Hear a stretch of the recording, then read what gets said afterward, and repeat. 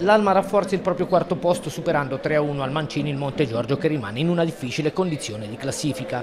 Nello schieramento iniziale dei padroni di casa Mosconi propone alcune novità con Allegrucci nei tre di difesa e Carrà esterno mentre Bacci all'esordio sulla panchina rossoblu ritrova Morganti cambiando poco rispetto all'11 del suo predecessore Izzotti. Dirige la signora Arianna Bazzo di Bolzano. L'Alma rispetta il copione già visto in campionato iniziando subito la gara a gran ritmo e costringendo all'indietro la squadra ospite che rischia di ritrovarsi sotto già dopo 8 minuti. Severini crossa da destra, Zanni corregge la traiettoria con il pallone che va a sbattere contro la traversa. Passano 3 minuti e il Fano passa in vantaggio proprio con lo stesso Zanni. Cross di cara a sinistra, Pistolesi libera corto e il numero 11 Granata raccoglie al limite e di destro va ad infilare l'angolino basso i forconesi per l'1-0. Trovato il vantaggio l'Alma rallenta il Monte Giorgio prova a reagire e dopo averci provato al sedicesimo con una girata debole di Perpe Pai che non impensierisce Tommasino agguanta il pareggio al diciassettesimo. Cardoni si incunea sulla destra e appoggia all'indietro per la corrente Monza che di piatto destro angola bene mandando il pallone contro la faccia interna del palo e poi in rete per l'1-1. Il gol sembra dare fiducia alla formazione ospite mentre l'Alma non trova il modo di rialzare il ritmo e torna a farsi viva solo al 32esimo con Allegrucci che ci prova da fuori. Forconesi si distende e blocca. La gara resta in equilibrio per i minuti restanti e quando le squadre sembrano ormai destinate a tornare negli spogliatoi in parità, i padroni di casa si riportano in vantaggio proprio prima del riposo. Nappello premia con un assist preciso l'inserimento di Severini che davanti a Forconesi resta freddo e supera con un pallonetto morbido il portiere rossoblu per il 2-1. Al rientro in campo dopo l'intervallo l'Alma mostra subito l'intenzione di chiudere la gara, ma il Monte Giorgio riesce a trovare spazi per affacciarsi in avanti e creare qualche grattacapo alla difesa di casa, ma al settimo i ragazzi di Mosconi trovano il modo di mettere al sicuro il risultato. Carrà se ne va sulla sinistra e centrabasso sul primo palo, dove Diop tenta di contrastare Nappo, il pallone finisce alle spalle di Forconesi per il 3-1. La partita resta viva e combattuta, il Monte Giorgio prova a riaprire la gara mentre l'Alma punge spesso di rimessa l'occasione per il 3-2 arriva alla mezz'ora di gioco quando su punizione da destra Diop stacca in mezzo al mucchio e colpisce bene di testa, Tommassino si supera e respinge. L'Alma invece potrebbe arrotondare il risultato con Drolé al 32esimo che libera il sinistro in corsa, sfera che si alza di poco sopra l'incrocio e poi al 35esimo quando è Forconesi a volare per deviare in tuffo la bella conclusione di Cecconi.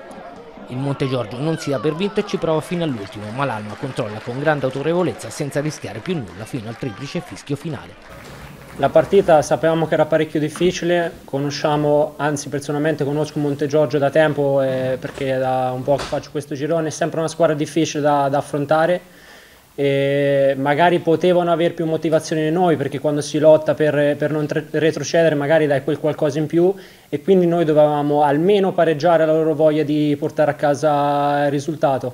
Come hai detto tu c'è stato magari quel momento in cui abbiamo calato un pelo l'attenzione ma dopo penso che la squadra ha reagito bene, abbiamo lottato tutti, chiunque è entrato ha cercato di dare il proprio contributo e la squadra ha dato una risposta.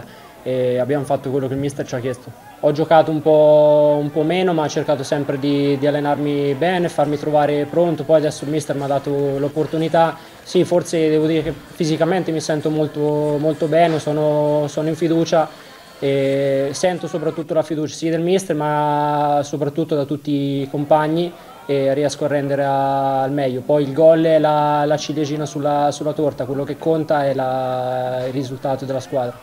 Siete riusciti a sbloccarla inizio partita, prima ho preso la traversa e poi sulla palla, sulla palla successiva ho fatto gol, era importante sbloccarla perché con queste squadre che si giocano la salvezza fino alle ultime giornate trovare il gol subito nel primo tempo è molto importante, poi come è già capitato altre volte abbiamo preso gol quasi subito dopo e siamo stati bravi a dargli la mazzata finale nel primo tempo e poi nel secondo a chiuderla. Sì, no, sicuramente sappiamo che il Fano, sapevamo che era una squadra molto forte, quindi non era facile. Però sappiamo anche che dobbiamo fare per forza punti, perché la classifica è brutta.